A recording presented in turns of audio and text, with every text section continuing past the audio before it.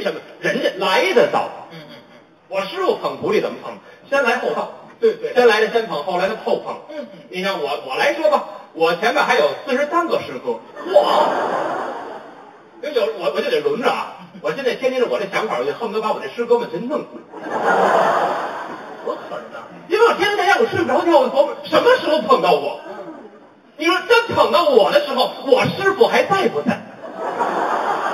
还真是个问题。表示又想一个问题，你们真碰到我的时候，他妈我还在不在呀？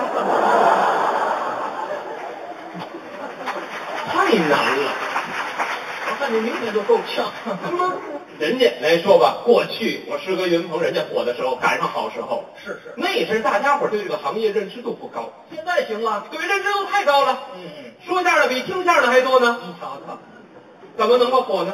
人们过去有能力，大伙儿就喜欢；现在光有能力都不行，怎么？三分天赋，六分努力，一分的贵人扶持，嗯，剩下九十分全看脸。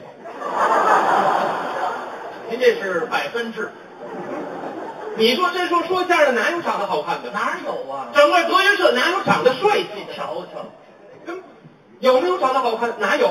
有吗？郭麒麟，你们看的是现在的他。郭麒麟像于谦啊，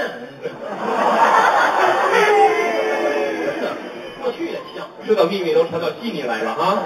都知道。那个郭麒麟现在那是好看了，倒退两年你再看他啊，胖的什么样了哎，呀，对吗？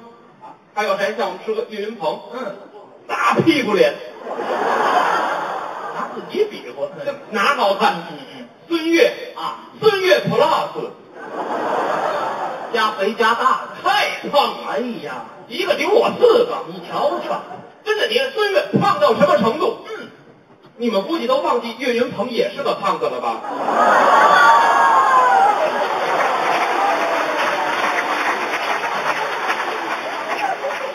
岳云鹏还真苗条了，人们家里买电视，光看孙越了。嘿，就是人家那会儿没有好看的，对吧？你真说你长得好，你也不说相声，对你当鸭子去了。